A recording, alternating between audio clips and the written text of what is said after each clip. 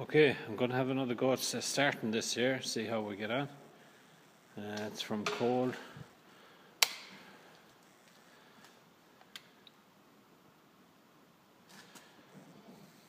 just give it a bit of heat.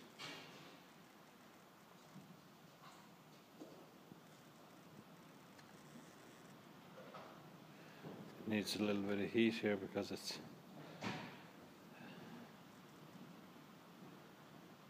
Okay, let's go for it.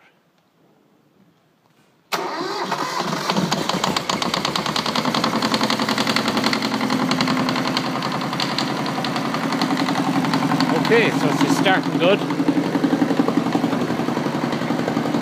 I fixed. I had a little. I had a leak here with the um, high pressure uh, copper washers under these things. They're very easy. So you need to replace these with new ones every time you take this apart, to be honest, because it's impossible to seal them with the old washers.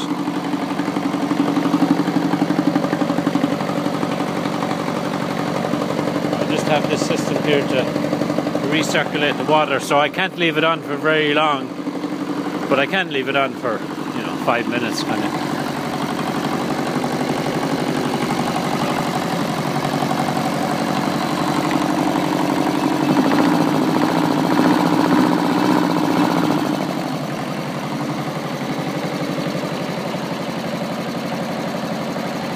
Okay, so she's sounding pretty good. So I'm going to knock it off and start it again.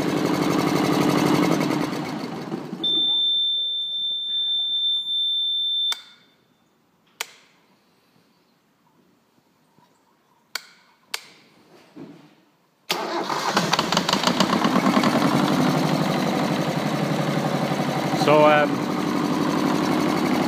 I don't know if I showed you this trick just to test to test the oil switch.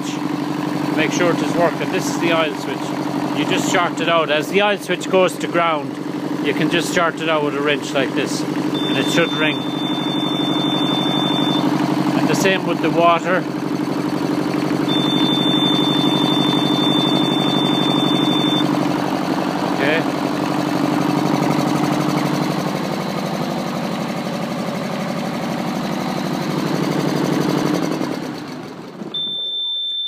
She's starting good.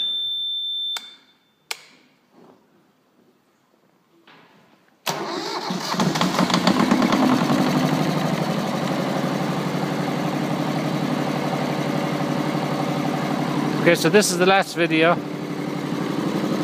I'm just going to turn this off. Okay, so this is the last video that I'm making now, and I'll post this one, and that'll be the end of the project.